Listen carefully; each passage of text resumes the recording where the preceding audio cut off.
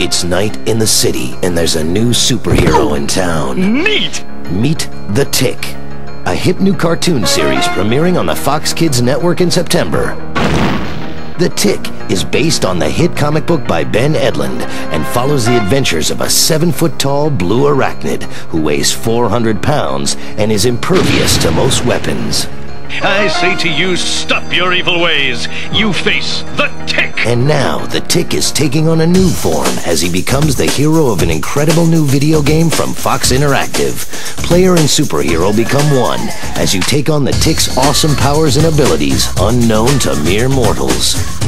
Hey, cool. The city becomes each player's personal gym, with nothing to get in the way except for a few killer clowns and a couple of dozen thugs and punks, including Toot Toot, the Forehead, Shirtless, and the Idea Man. Hmm.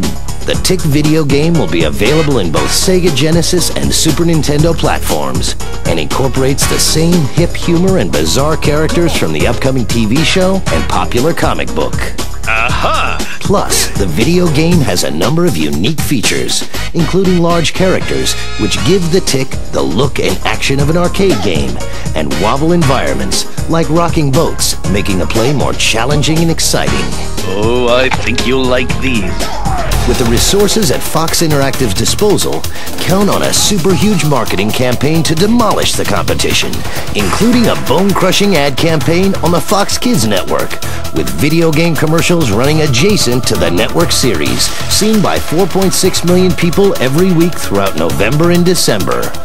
Plus, there'll be both Saturday morning and weekday afternoon video game promotions on 100 Fox Network affiliates and in Totally Kids magazine with 4 million readers. And enthusiast ads in every major video game magazine to announce the Tick's arrival. Wherever evil sets its giant, ill-smelling foot, you will find... The Tick, ready to make the competition nervous and kick some video game butt.